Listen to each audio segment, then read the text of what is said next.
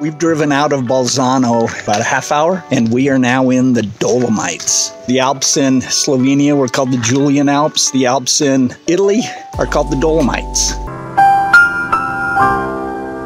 And the whole ride here was epic views of beautiful Austrian towns.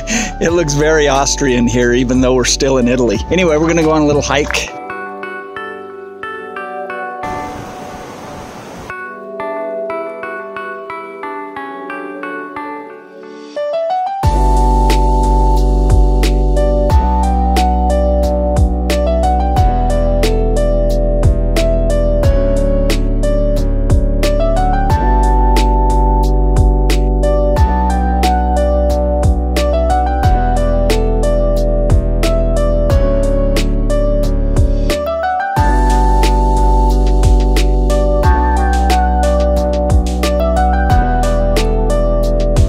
on a bike, it's got to be disheartening to be passed by a panda. We're here at kind of an awkward time. It's the end of April. So ski season is over, but the summer season has not begun. So things are closed. But we came up to this gondola site.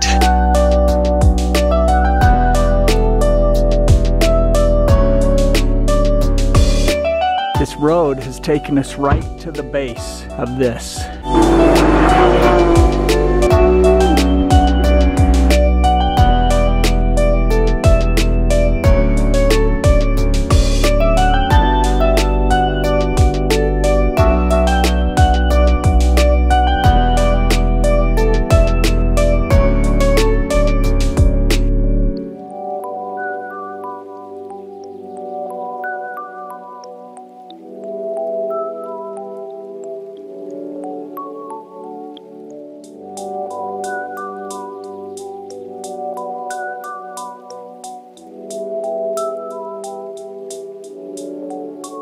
We've stopped in a little city for lunch. It's called what, Nancy?